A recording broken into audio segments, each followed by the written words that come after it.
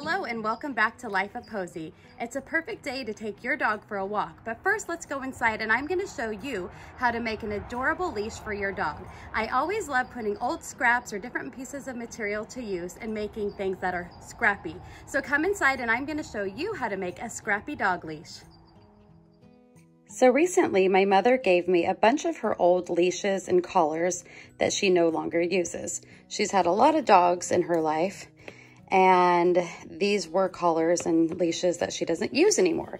And I said I would definitely take them because you can reuse the hardware if you don't want to actually use the leash itself.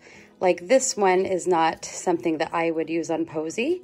And so um, I can take the hardware off of the end here and repurpose it. So I'm gonna show you how to do that in today's video. So I'm simply gonna take some scissors and cut this old leash off of this hardware. As simple as that. And now I have this perfect little leash buckle that is ready to go. This is the material that I'm going to work with today. This is a jelly roll and these are two and a half inches wide by about 42 inches long in length but we're gonna cut them up to various lengths because we are gonna be putting together a scrappy leash. I just love the scrappy concept, so I'm excited to do this. But I think that all of these materials are really lovely. And the great thing about a jelly roll is that all of the pieces coordinate. The colors all go together really well and they're fun patterns. Of course, you can take any scrap material you have on hand and cut them to two and a half inches wide by whatever length you want and do the same thing. But this is so easy because these strips are already two and a half inches wide. So let's get started. So what I'm going to do is take my material and I'm going to open it up and maybe even stack a few on top of each other but I'm going to lay them out and cut them nice and straight across at whatever length I desire. It can be only a few inches, it can be several inches, and I'm gonna switch it up. But I need, in the end of this project, for my leash with Miss Posey, I want my leash to be about a five to a six foot leash. But if you have a larger dog, you may want more length on your leash. It's just totally up to your preference.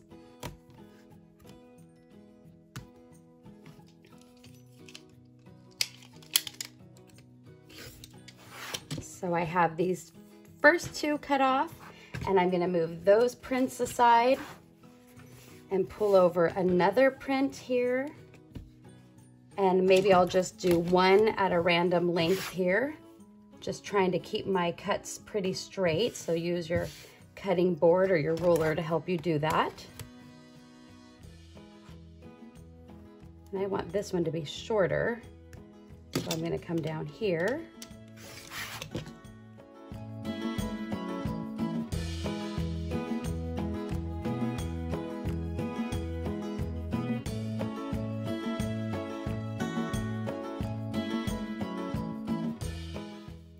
Because I want my leash to end at about five feet, I'm actually gonna make my leash a, at least a foot longer to start with because we have to double over a handle and attach the, um, the little closure. So I'm gonna aim to make this leash six feet long. And so I'm going to take whatever pieces I want. You're just gonna wanna make sure that different pieces are coming together each time. But what you will do is, for instance, these two pieces, I will take them to my sewing machine and I will put them good sides facing. So I will put this one face up and this one face down so that they are good sides facing. Line them up nice and straight and with a quarter inch seam allowance, stitch all the way across here. That way, when I open it up, they are attached. And then I will move down the line and take another piece of material that is different from the previous one and put it face down on top of the good side of this one and stitch a quarter of an inch. And then I will open those up once they're attached and take another piece of material and do the same thing, face to face, quarter inch seam until I have one long piece of material. So I'm going to head over to the sewing machine with all of my scraps and sew them together. All right, I'm back from the sewing machine and as you can see, I have this long strip of scrappy material. I'm gonna show you right here that this is where I sewed the seams together and then when I was all done, I went ahead and ironed all of the seams going one direction. It doesn't matter which way, but just so that they lay down flat. And when you turn it to the front, you have this nice continuous strip of material. So the next step is to turn this over and we're gonna bring it to our ironing board and we're going to iron on pieces of light to medium weight interfacing just to give this a little more stability. You do not have to do this, but if you want your leash to be a little bit more firm, this is what you would do. Here's a sheet of interfacing that I have on hand. And what I'm going to do is move my scrappy piece away and I'm going to lay this out and using a ruler, I'm gonna cut this in strips that are two and a half inches wide, maybe even just a hair less than two and a half inches. That way I can put it right on top of my strip of material here and not have any coming off the edges. So I'm just gonna continue to cut out just different strips that are about two and a half inches wide and then I will line those up and iron them on. When using interfacing, there's one side that you can visibly see the glue on and you can somewhat feel it. The other side is smooth. This side has a little bit more of a texture and you can kind of see the sheen of the glue that will actually adhere to your fabric. So we're gonna bring this over to our sewing machine and lay it across the strip right down the center with the glue side down right in the center of our strip. But be sure to start this strip about a half inch down from the end of our material. So if this is the edge of our material, the interfacing will start a half an inch away from that edge. So go ahead and iron your interfacing on following the instructions on your package of interfacing and continue to do this down the strip of your material, just grabbing more strips of your interfacing and laying it on the correct way and ironing it down. And when you get to the other end of your strip, be sure to stop half an inch from the edge as well. And make sure you're putting this on the back side of your material, not the good side. We want it on the back side. So I'm gonna go to my iron and do that and I'll be right back. All right, I'm back from the iron and I have attached all of my interfacing down the length of my material. But as I pointed out before, I was sure not to put it about a half an inch from both ends. So the next step is to lay this out and we're gonna flip it upside down like this. At our ironing board, we're going to fold this in half and iron all the way down the length after we have it ironed in half, we'll have a little crease down here in the center. From there, we're gonna pull both of the side edges just before they meet that middle crease. So if my middle crease is right here, I will just leave a tiny little gap in between the two pieces like so. So almost touching, but not quite. And iron that. And then we will have it folded over completely like so. So go ahead and go to the iron, fold it in half, and then fold each sides up into that middle point, leaving a little gap in between. I'm gonna go to my iron and do this and I'll be right back. Alrighty, I'm back from the ironing board and I have done exactly as I explained. In half to the center on both sides and over. So now I'm completely ironed into place and we're gonna head over to our sewing machine and I'll show you what to do from there sewing, okay. Alrighty, now that I'm at the sewing machine, I'm going to unfold this ironed edge that I previously did. Open it up right here at the end and fold it so that the good sides are facing, just like so. And right here where my interfacing ends, which is about a half an inch down from the raw edge, I'm going to stitch right across this edge.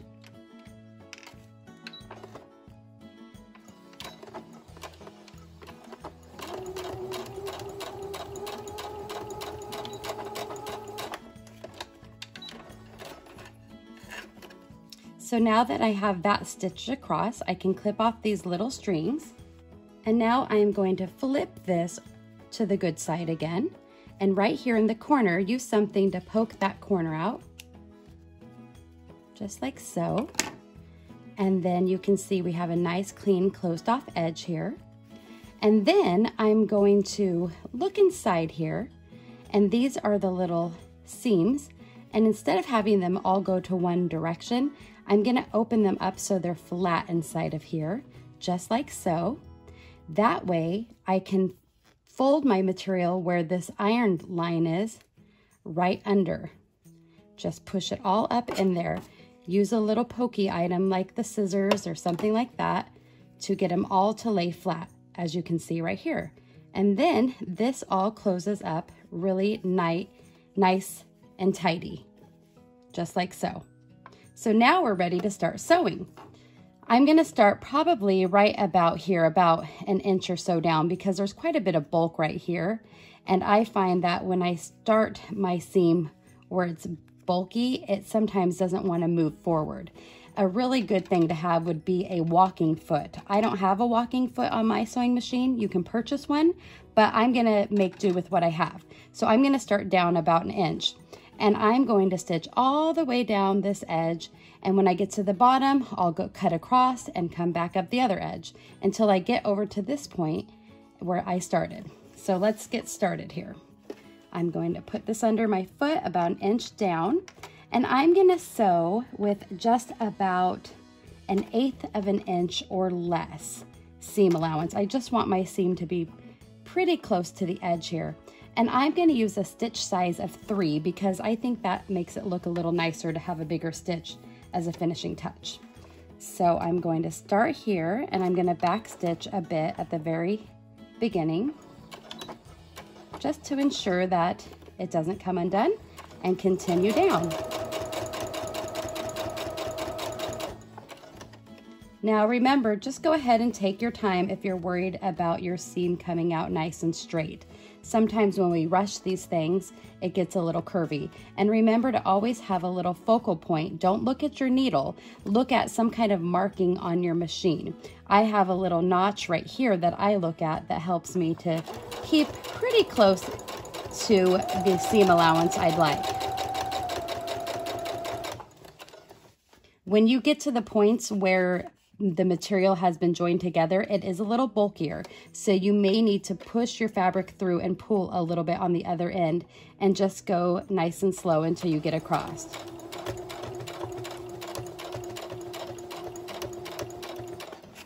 And just continue like this all the way around your leash. Before you get too far down to the very bottom edge, remember to do the same thing we did in the beginning. Open up your material, Fold it good sides together. Line up your edges and stitch along that half inch seam allowance right where your interfacing ended. Be sure to backstitch at the beginning and end of the seam, especially the beginning, because you don't want the material to pull apart as you're tucking it under.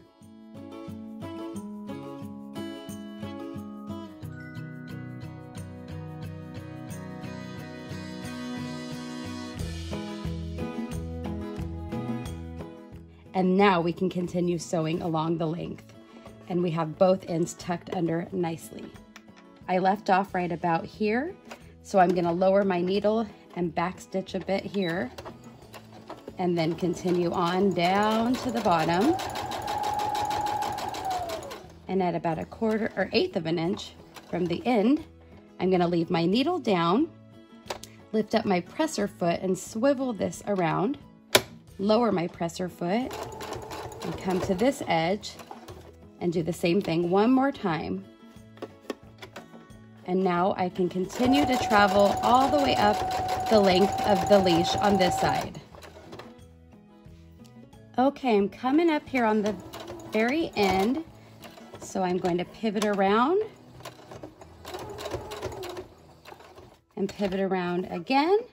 And this was my starting point. So I'm going to just come right up to that starting point and backstitch And there it is. I'm done.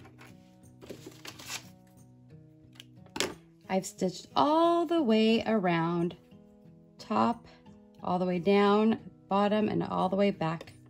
So now that we're done stitching this all together, we're gonna take our piece of hardware that we either purchased or are upcycling like I am from an old leash, and we're gonna string this leash through it. Now this end piece here may be different on the buckle that you have or purchased because they come in different sizes. And you could always make this strap wider. That would just depend on the width of the straps that you, of the material that you cut. Ours were two and a half inch and ended up being about five eighths of an inch wide. So it's a little bit wider even than my buckle here, as you can see, but I'm not too concerned with that. I'm just gonna kind of push it through like so. And then I'm gonna leave myself plenty of room here at the bottom. Maybe that's a little much because I want to sew a sort of square or rectangular shape right here to make this really secure. And I don't want this metal buckle getting in the way of my presser foot. So give yourself plenty of room. Um, just gauge it by the size of your foot and what you think you need to be able to fit this little um, rectangular or square shape in. So I think I have enough here and I'm going to slip this under vertically first to make sure I can lower my presser foot and still be able to get the square shape sewn on there. And if not, go ahead and pull out a little more material. I think I'm okay right here.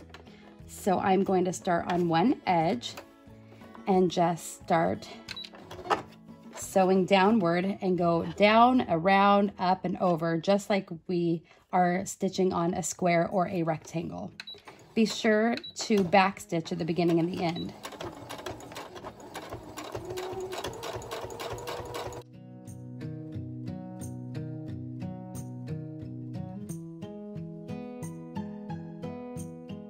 Now this is a lot of material that we're sewing through, so just take your time. And you might need to guide it through a bit. And just get this next line even with where you started with before. And then press her foot up, needle down, shift it around and come across. And back stitch.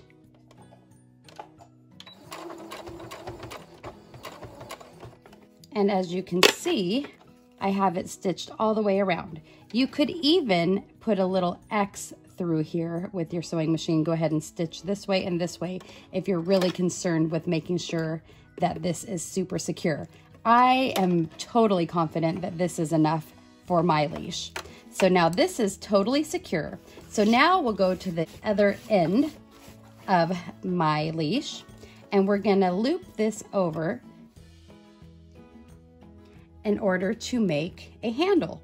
Now, this is up to you how big you want your handle. If you have a really large hand and you want to make it extra big, go for it. If you have a smaller hand and you want this to be a little more small, the opening smaller. And then we're going to do the same exact thing. We're going to stitch a little square here.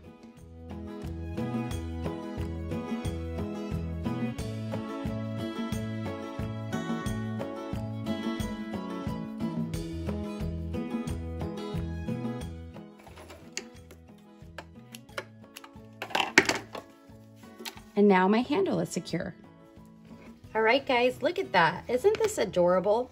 I just think this scrappy leash turned out so lovely. I love all the fun coordinating materials, and it would be just as fun with really random leftover materials. And I have my leash handle here, custom made to the size that I want. And I've upcycled this little piece of hardware here from an old leash and I've made a totally new leash. I think that this is such a fun, quick project. You could make several of these. You could gift them to friends. You could donate them to an animal shelter. I think it's just such a fun, quick little idea and I hope that you will give it a try. I'm gonna take Miss Posey outside right now and try it out. Hello, Miss Posey. You wanna go for a walk? Let's go, come on. So I think that this turned out adorable. Come on, Posey. She's just happy to go for a walk. Come on. But as you can see, we have this adorable colorful leash. And I think it just turned out lovely. Here's the handle. It's nice and secure, fits my wrist. I ended up making this leash a little bit longer than I had originally said. So be sure to keep in mind the length that you want. And I would add, I would say a good six inches extra for securing this buckle down here.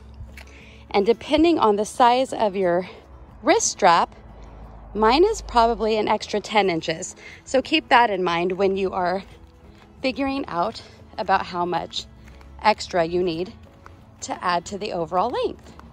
But I'm very pleased with it and I hope that you guys will give it a try. Have a great day.